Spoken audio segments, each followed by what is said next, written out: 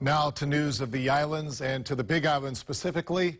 A community on edge tonight as lava creeps closer. Less than a football field, in fact, from Apa'a Street.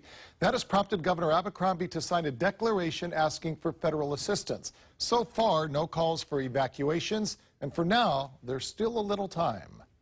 Big Island Civil Defense tells us residents will still get at least three to five days' notice if they need to evacuate. You know, we're asking everyone to, you know, be a little patient as we go through this change because there's many more changes that may be coming as the flow continues and may. Oliveira knows that's a difficult request. After two hurricanes and the continuing threat of lava, patience is a precious commodity on the Big Island.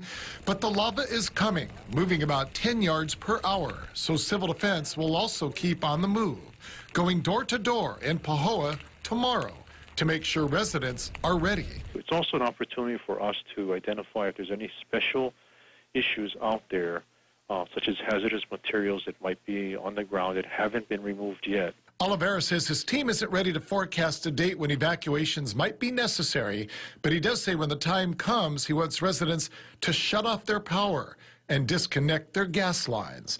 In the meantime, work continues on an emergency access route along the historic Chain of Craters Road that was overcome by lava itself decades ago. Probably going to take between 45 and 60 days.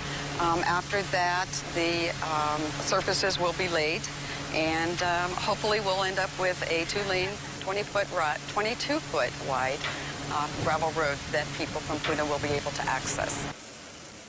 And yet another concern on the Big Island, making sure utility poles are protected. And so Hawaiian Electric Light Company says crews have installed heat-resistant covers on the base of the poles near the lava flow.